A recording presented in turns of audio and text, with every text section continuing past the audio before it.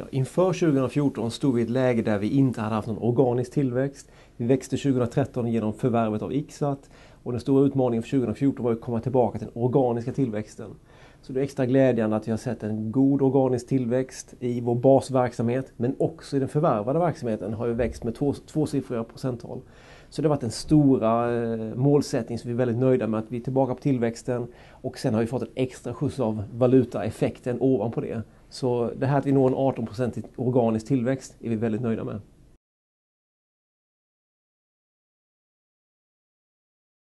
Vi har avslutat ett stort utvecklingsarbete som vi startade 2012 med vår nya Embedded-plattform.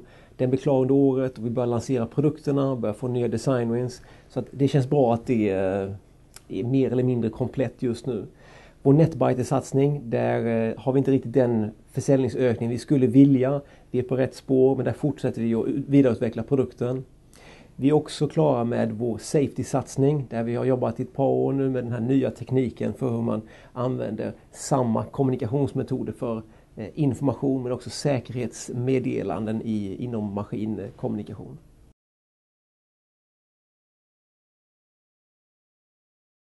Vad vi lägger bakom oss nu är en väldigt stark expansion på utvecklingssidan och där har vi en ganska plan eh, personalstyrka. Man ser lite mer kostnader 2014 för att vi aktiverar inte så mycket eh, balanserade utvecklingskostnader som vi gjort tidigare år enligt den policy vi har enligt IFRS.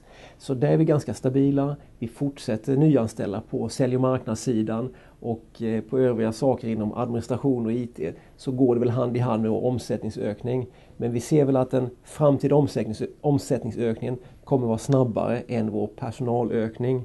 Vi har lyckats växa in i den kostymen vi har och är ganska nöjda med den här plattformen. Nu ska vi få bättre fart på intäkterna utan att för den skullen nyanställa massa fler resurser.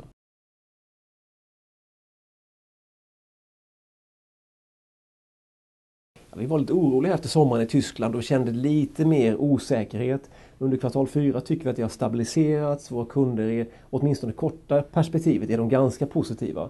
Sen finns en oro över eh, olika politiska situationer och eh, hur det här ser ut i Europa. Men vi tycker att vi ser en stabilitet här. Vi tycker också att vi börjar se den här eh, tillväxten i Nordamerika som vi faktiskt har talat om ganska lång tid. Vi börjar se att den kommer. Eh, lite långsammare än vi trodde från början men nu ser vi att den är på väg hit. Så stabilitet tycker vi eh, präglar vår, vår marknad idag.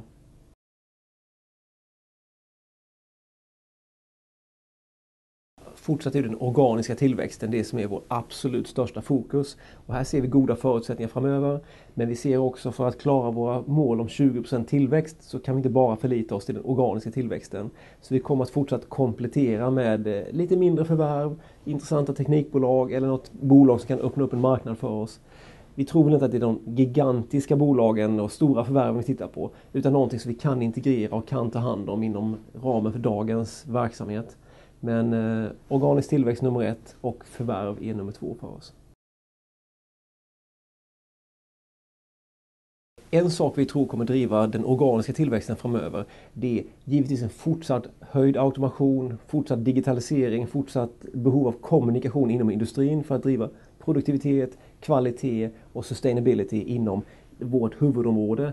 Men vi ser också nya trender, Internet of Things eller Industrial Internet of Things, hur mer prylar kan kommunicera med varandra för att få mer information till dels produktionssystemen men också eh, produktlivsinformation och andra typer av information. Så det är många trender som kommer här. Framförallt vill jag nog trycka på det här Internet of Things som kommer i en industriversion där vi ser att nya spelare kommer in på den här marknaden och är intresserade av hur kan min apparat eller min device skicka upp information till någon form av molnlösning där man kan analysera och förstå mer hur produkten används och hur den används under hela livscykeln.